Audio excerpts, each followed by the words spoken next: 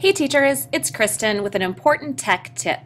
One of the things about transitioning to Gmail is that it's really important to check your spam. Uh, as we make this transition, there may be certain emails that get marked as spam that aren't really spam. So here's a couple of quick and easy things that you can do to make checking your spam a lot more convenient. First of all, you can take your spam and drag it up toward the top near your inbox.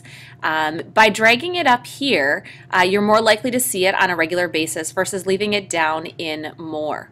Another thing that you can do is um, go in and check your spam on a regular basis and in your settings you can check it so that your spam only shows up when there are items for you to check. And so um, if you go under labels and you go to your spam, you can show only if unread. So the spam label will show up in your list only when you have unread messages. So that'll be kind of an indicator to you that it's time to check your spam. So those are a couple easy things that you can do to check your spam uh, and make sure that Gmail is working right for you.